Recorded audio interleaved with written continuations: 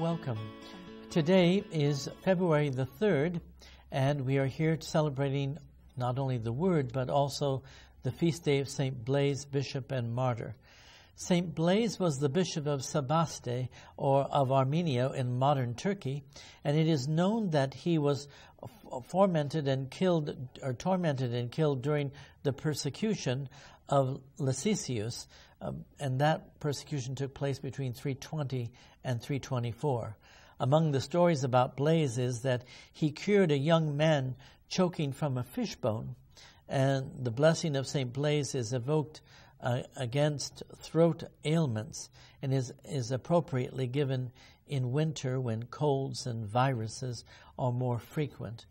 And so we remember St. Blaise today in the name of the Father and of the Son and of the Holy Spirit. Amen.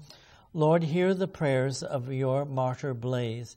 Give us the joy of your peace in this life and help us to remain th- the happiness that will never end, that we may gain it through Christ Jesus our Lord. We ask this in Jesus' name. Amen. Amen. In the name of the Father and of the Son and of the Holy Spirit. We also want to remember um, Archbishop Blase, who is the new Archbishop of Chicago, um, as he begins his new ministry there uh, among the people of God. And um, it's interesting to note um, that as he begins this um, new ministry, um, that he's in need of a lot of our prayers because of uh, what he is called to do as an archbishop and not only to lead an archdiocese, but also to teach in the region, uh, which is the metropolitan region. And you and I belong to the metropolitan of Los Angeles. And then starting in Stockton, they belong to the metropolitan of San Francisco. So we're quite unique in California because we're the only diocese in the United States of America that has two archdioceses. All the other ones that have archdiocese are one hmm.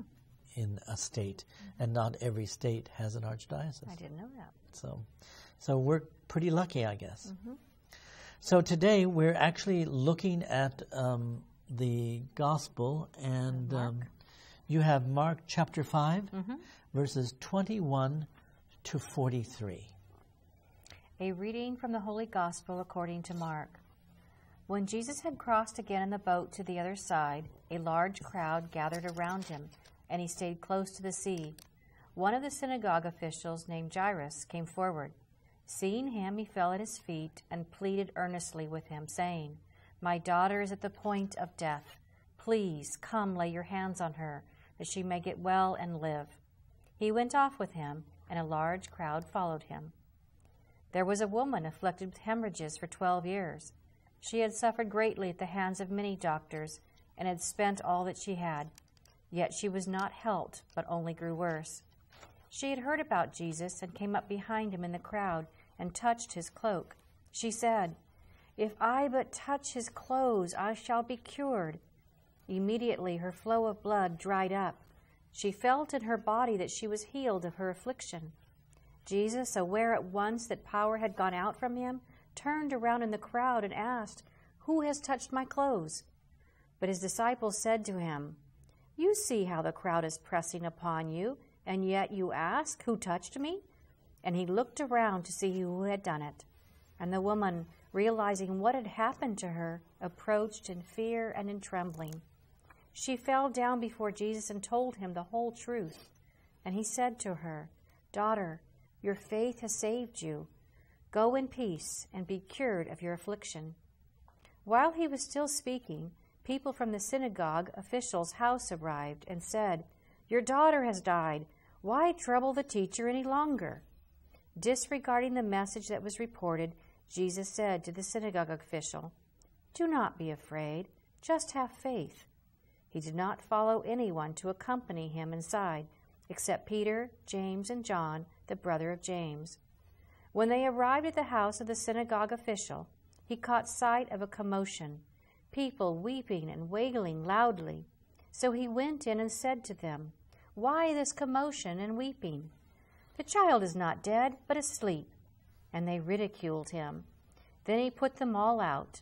He took along the child's father and mother and those who were with him, and entered the room where the child was. He took the child by the hand and said to her, Talitha koum, which means, Little girl, I say to you, arise. The girl, a child of twelve, arose immediately and walked around. At that they were utterly astounded. He gave strict orders that no one should know this, and said that she should be given something to eat. The Gospel of the Lord. Praise, to you, Lord Jesus Christ. And so, at first, both Jairus and the woman who spent her life savings on doctors wanted physical contact with Jesus touch of the garment, laying on of hands. So in both cases, Jesus looks beneath the surface, touch the deeper contact of faith. Through faith, we make contact with the Lord, and there is no advantage to those who touched his cloak back in Galilee 20 centuries ago. We can contact the same Jesus and be healed by the same saving power through faith and the sacramental liturgical life of the church. Christ is there.